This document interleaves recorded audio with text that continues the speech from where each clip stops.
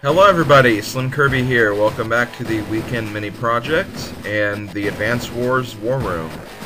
Uh, now, if you guys don't remember, uh, this is actually a project I got halfway through before I decided to uh, take a break on it, and uh, basically I'm going to try and resume the project. Uh, I have 10 more War Rooms maps left, and the next one I'm going to do is Ridge Island. And uh, if you don't remember, I actually skipped this one uh, when I went through the list originally uh, because I had some problems with this and I wanted to have a decent strategy before I could actually, you know, do this properly. So I kind of have a bit of a strategy now. I don't know how it's going to play out. And I probably am going to get a very, very bad rank for this. But uh, this map is pretty challenging and uh, I guess in a, in a way it'll show you how creative you have to get if you do want to get an A or even an or if you want to get an S rank or even an A rank for that matter. So uh, let's go ahead and get started. Uh, the CO I'm going to use for this map, uh, I've decided between either Max and Kanbei. Uh, I think I'm going to go for Max, just to have a little extra movement whenever I use my CO power. Um, our opponent for this map is Grit, and Grit is actually quite formidable, because he kind of has his own little empire set up already, and he gains, uh, let me check really quickly, he gains 14,000 funds per turn, so he can crank out some of his best units out really, really quickly, and obviously his best units are going to be indirects, and his indirects are very, very deadly on this map, just because they can cover a very, very, very wide range. So uh, you can't really take this map lightly. You kind of have to do what you can to win, otherwise, well, you're not going to win. That's that's basically all I have to say about it. So, uh, let's see. I think I'm going to start out by building just three infantry. Going to keep it simple. I'm not going to build an infantry here, though. I guess I could. Yeah, fine, I'll go ahead and do it. Um, I'm to kind of focus on going up through this way and kind of ignoring these cities down here. Because Grit has a very big tendency to kind of ignore the units he puts down here. If anything, he puts his indirects down here, leaving this side with mostly his tanks and all of his other units. So uh, that is what I'm going to focus on. I'm going to try to focus on getting a nice little foothold at the top and then if I need to, I can build a few units down here to take out whatever he builds. But for the most part, I won't have to worry about that just yet. So let's go ahead and keep moving our units north, or let's start moving our units north, I guess is a better way to say that. Um, and now I'm going to be pretty much doing this every turn, but I'm going to build an infantry and a tank every single turn for quite a few turns. It's going to be a while before I mix anything up, so just going to uh, warn you guys of that right now. And I believe on the second turn, he goes ahead and buys a rocket, so we have to watch out for the range of that rocket, because uh, if you don't remember, Grit does have plus one uh, indirect range, and that can be quite lethal, especially on a map like this. Okay, um, right here, just out of your range. I'm gonna keep moving these guys up. And I can also get my first tank up here. And like I said, I'm gonna be focusing on just building a tank and an infantry for a few turns, so Yep, I'm gonna have very, very, very predictable moves, but the computer AI is not really gonna notice that. And look, he's going to send his art, uh, his uh, indirect units down here. He's not going to send them over here where they'd actually help him. Which is kind of an AI flaw, I guess you could say. Not really sure why he does that, but in a way it's good that he does, because otherwise you're probably not going to win this map very easily if he does anything else. Okay, so I want to be kind of smart with this. Uh, I think I can put the infantry right here and be pretty well covered. Yeah, I guess I'll just keep moving my units forward. Even if you try to go for these cities over here, you're going to pretty much be fighting him for them anyway. So that's why I kind of developed the don't do anything with them strategy, because he's not going to really build too many infantry, so it's going to be a while before he can actually capture these. And if worse comes to worse, like, uh, you can just use one of the tank units I build over here to just take out any opposition if they get too close. So that's kind of the uh, general strategy I'm going for in this map. Let's see if it actually works out, though. Okay, so yeah, my tank unit got hurt there. And look, yeah, he's still sending his uh, indirect south, so I do have this uh, medium tank to worry about, but that's fine. I can uh, find a way past that. Okay. And, like, even though it's a medium tank, Max's tanks should do okay enough against the medium tanks. And another thing that I will suggest when you're going through this is um, don't try to go for the medium tank at first. Kind of let it wear itself out.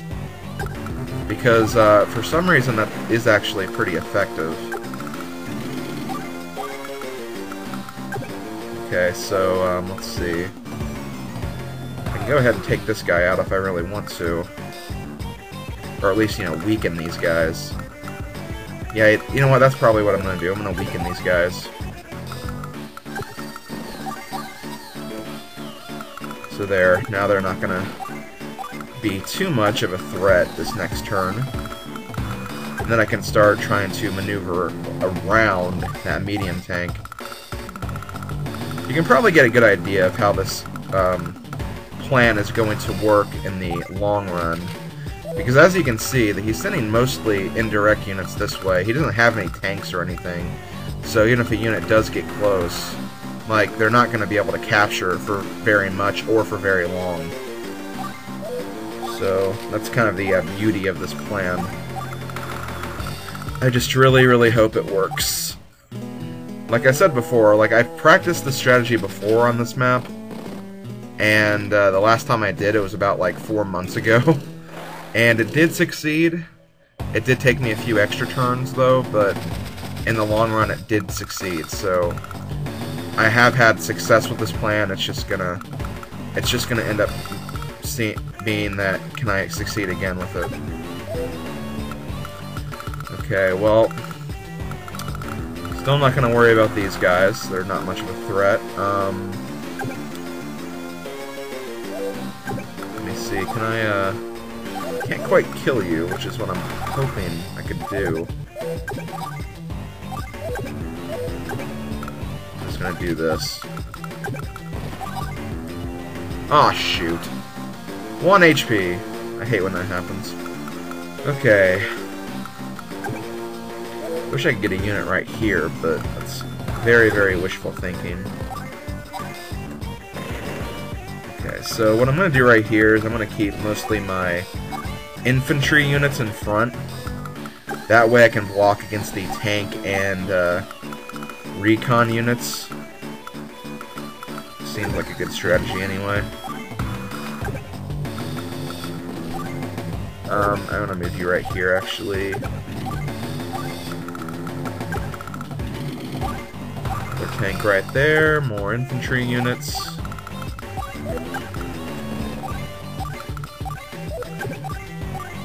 And that should do it, I think. Tank, infantry, and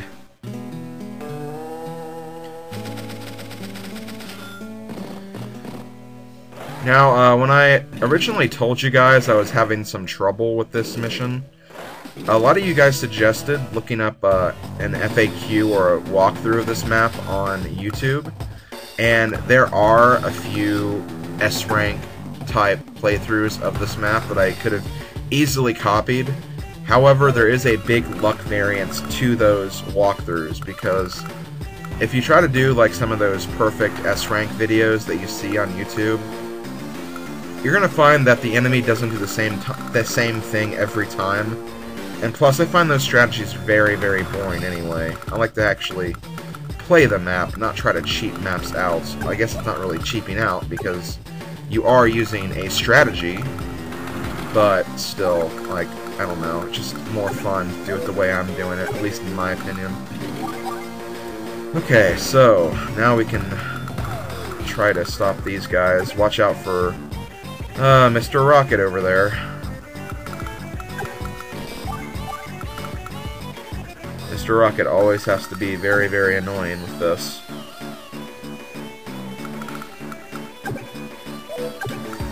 I guess one thing I could do is I could keep moving my guys forward anyway.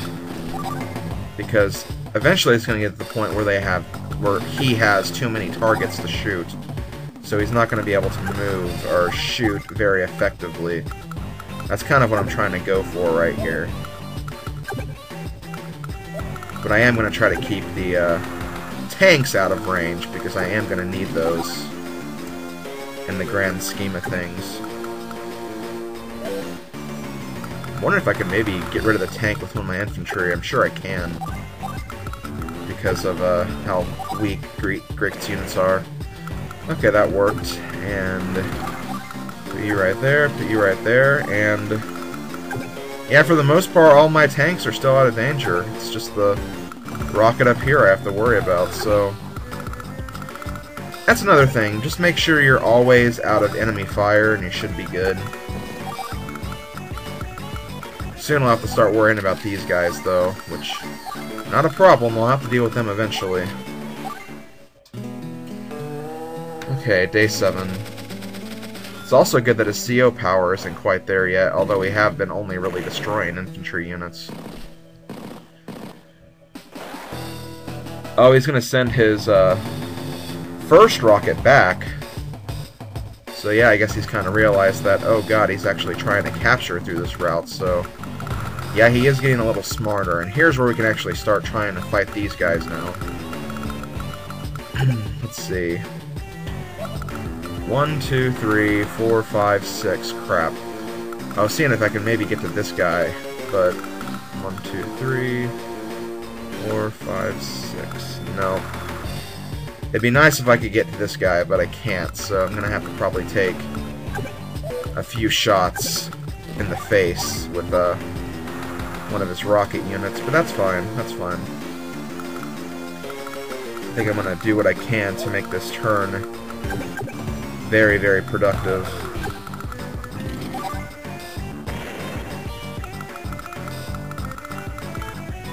Let's see, I'll have the most problem with these three units. The recons I'm not too worried about. See if I can maybe get rid of the, uh, tank at the very least, which I know I can. Okay, that works.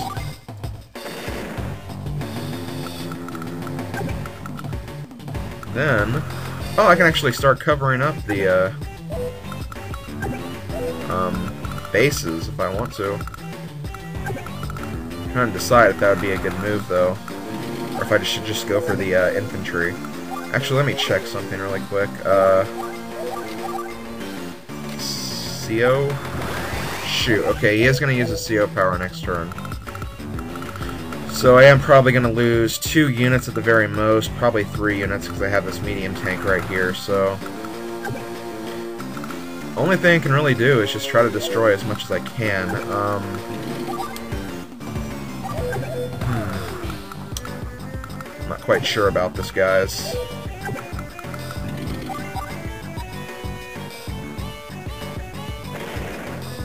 I'm gonna try this and see if this will be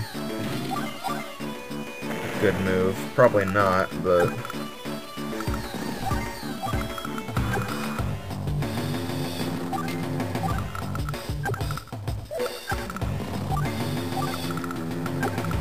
Yeah, I'm not sure about this right now.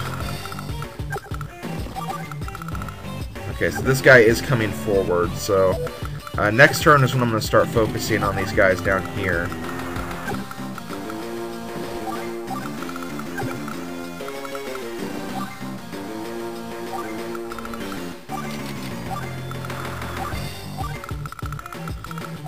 Let's see what happens. Like I said, I'll probably lose three units right here. Maybe a little more with those recons in the way, but we'll see.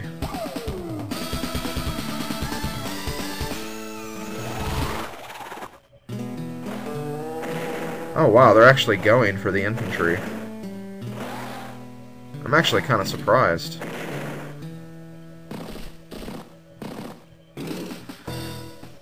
Okay, it didn't exactly work the way I was expecting, but this is the point where they're going to stop trying to build, uh, you know, actual, like, fighting units, and they're going to focus on spamming infantry and mechs.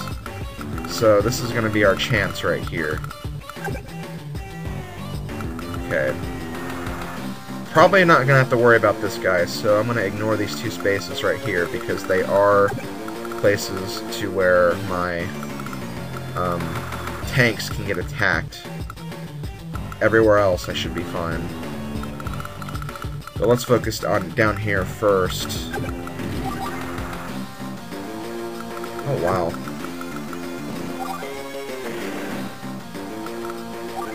Okay, build a tank. You guys forward.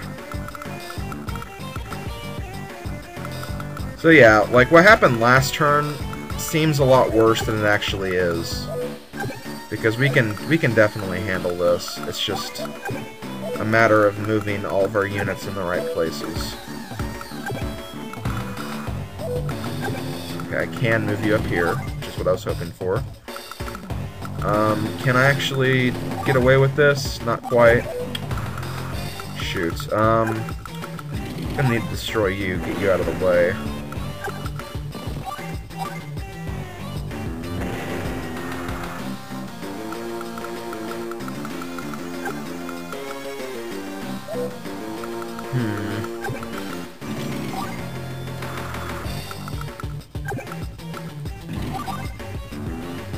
Okay, this might actually work. This guy is going to get fired upon by him, but... Sometimes you'll have to have casualties, that's the only thing. I can move you right here. Keep moving these guys forward, too. But yeah, as you can see, I mean, he has this medium tank still, but it's only going to be able to destroy one thing per turn, so it's not going to be that helpful for grit, so that's a good thing about it. And we should be getting our CO power soon, too. Okay, I knew that was going to happen. Had a feeling that was going to happen. And look, they've actually kind of, like, just gotten out of the way, and, like, for some reason the mech didn't even attack right there. So I can actually break through and get to the HQ on this turn. But I still have this rocket to deal with too, because I'm not going to be able to, I'm not going to want to capture with this rocket in the way, so that is one thing to keep in mind. But for now, I'm going to use our CO power.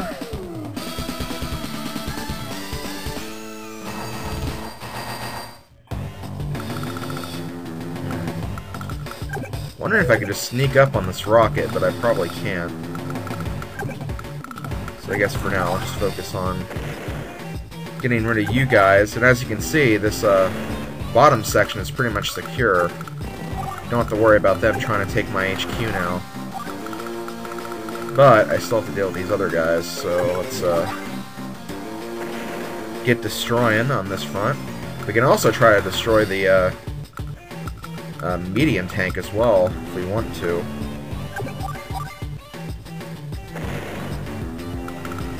But it's not super important.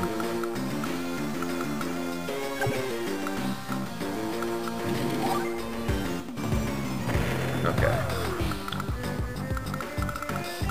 I can actually do something like this, too, where I can just start trying to capture that space. Maybe not the most productive thing to do, but it's something I can do. Okay, got you out of the way.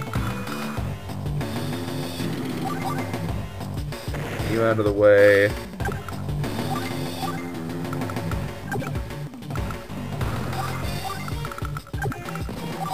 I'll go ahead and attack you. And yeah, like, uh... Again, this is like the only unit that's really capable of doing damage to me, so... I'm actually in a really, really good position right now.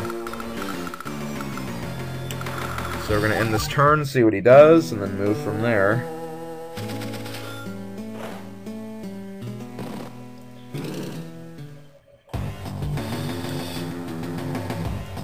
Now we can capture this. We have one of his bases now.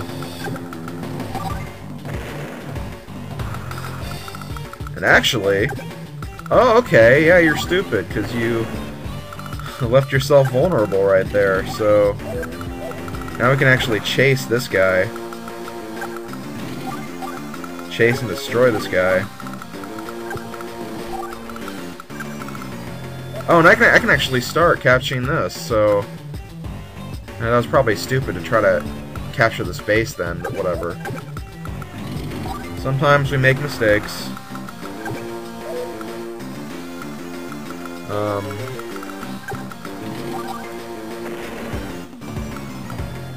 Okay, let me do let me do this. Oh shoot. Oh well. Okay, that'll work.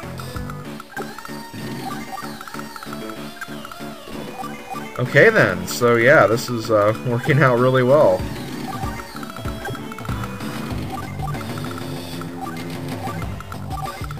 Not sure what kind of uh, ranking to expect. It's probably going to be like a B or a C or something, though. Okay, snipe attack. That's not going to do very much damage.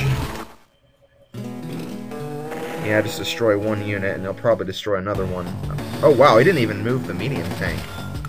I think at this point he's kind of realized, yeah, I think, uh, I think he won. So now he's not going to do anything.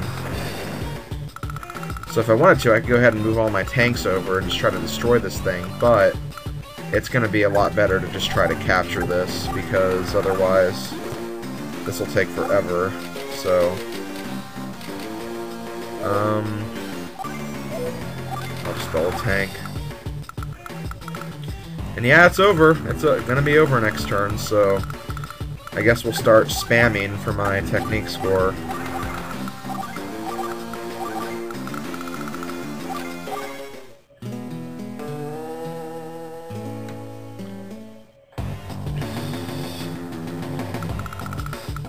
Okay.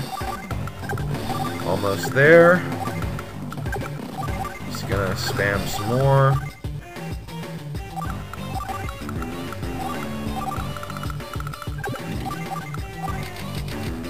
And there we go, map completed. So yeah, that was Ridge Island. As you can see, it is a very, very difficult map in its own right. But with the right strategies, you can become victorious. So I got an A rank too, so I'm actually really satisfied with that. Uh, so yeah, uh, this has been the uh, return of the Weekend Mini Project. I hope you guys enjoyed. And I will see you guys next time for the next map. Let's go ahead and see what it is. And we're also an Opal Steed now.